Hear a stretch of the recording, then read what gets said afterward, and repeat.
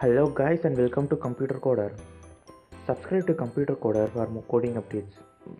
This is Python programming series day 2 and here is an agenda.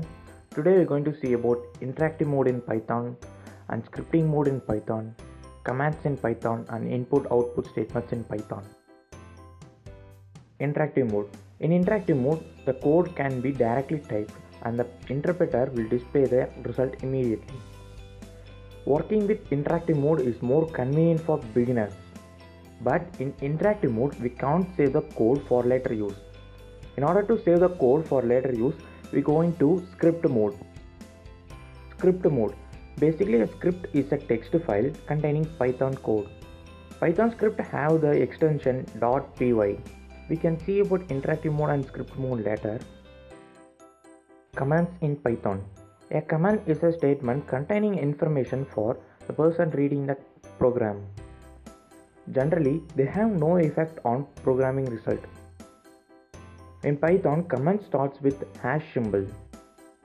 Here is an example for Python comment. There is an another way of writing comments using triple single quotes or triple double quotes. Actually, it is a string data type in the Python. Here is an example for multi-line comment. Input and output functions in Python. A program need to interact with the user to accomplish the desired task. This can be achieved by input and output function. Input function. The input function helps to enter the data at runtime by the user. In order to get numbers or expression from the user, we use eval function. Eval is a function takes a string and returns an expression. Output function. The print function is used to display the result. Okay, first let us open Python IDLE. Click on start and search for Python 3.7 and double click on IDLE and it should open Python IDLE. Let me resize it. Here you can see that Python version is displayed in the first line and in second line you can see help, copyright, credits and license. Let us type and see the help command. Help should have parentheses. Help is a keyword in the Python IDLE. It will return the description of modules, keywords or uh, symbols. Press Q to exit. Also copyright. This is the copyright for Python 3. Okay, now we can open a new script mode. Click file and new file. It will open a new script mode. Under the shell, you can see the restart the shell. It will restart the Python shell can see previous history and next history.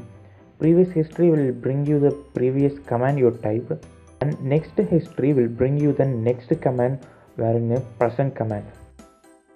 Okay let us write some code in python script mode. Print is a keyword to display the content. You can write hello world and to run and run module. For running a python script we must save the script. I will save my python script in my python folder on the desktop and execute it now it is printed. Now coming on to interactive mode. Interactive mode will return the commands then and there. Here you can see a decimal number floating number complex number collections strings even expressions. But this is impossible in scripting mode we need to use print keyword to print the content from scripting mode. We got it. Python comments begin with hash symbol and Python comments doesn't make any change to the output. If we print the Python comment, it will be printed in the console. Input function. Input is the input function of Python. Let us write an input function and execute the program. You can see here uh, a pointer is waiting for the input let us write something like um, hello this is computer coder. And you can see that um, statement is completed. Input in the interactive mode will return input given. We can pass the input requesting statement within the within the parentheses of input statement. Now within the input statement we can give enter something. And and the output is like this. And it and it will be requesting like this. We can give input now as we all seen until now, input statement will get the input as string. In order to convert a string into an expression, we need a special function called evaluation. EVAL is a function called evaluation used to convert strings into an expression. We can give input function within an eval function. Actually what has happens here is the input is got from the console and is converted into an expression using a eval function. Eval function only converts strings to expressions. It doesn't freely take the expression